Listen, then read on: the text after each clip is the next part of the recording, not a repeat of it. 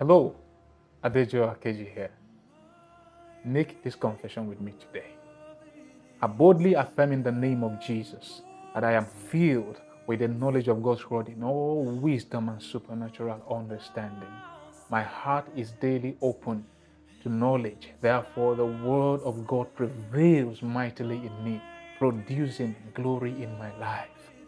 My victory is undeniable, and all the blessings and result of the death and resurrection of Jesus Christ are evident in my life.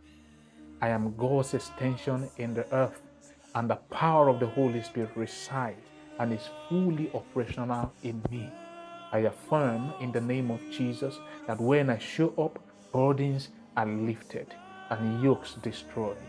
I am a God carrying vessel and a dispenser of eternal verities. Therefore, I am fruitful and productive, making progress in every area of my life. I have received an abundance of grace and the gift of righteousness. I am complete in Christ. And every facet of my life is perfected for excellence.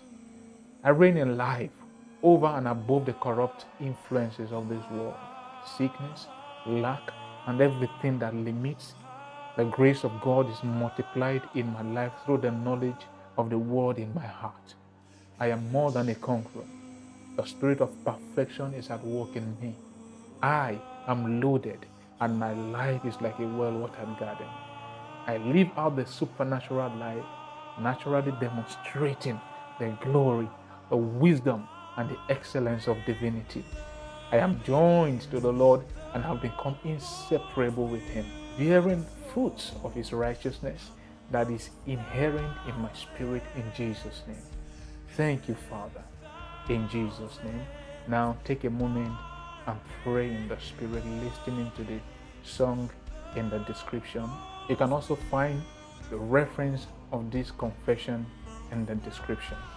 God bless you and see you in the next one.